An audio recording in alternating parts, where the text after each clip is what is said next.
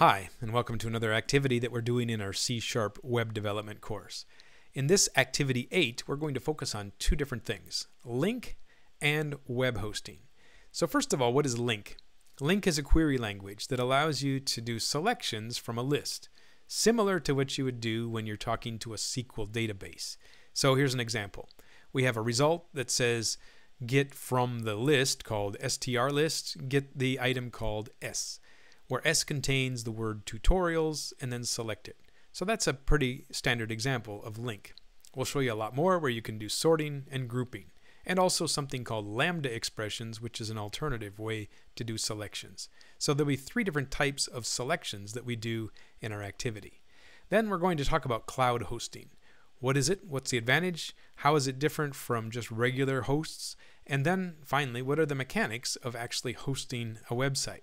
So we'll figure out all these things and have something online by the time we're done. So let's get started here with LINQ and web hosting, and then we'll be almost finished with our course on C Sharp web development.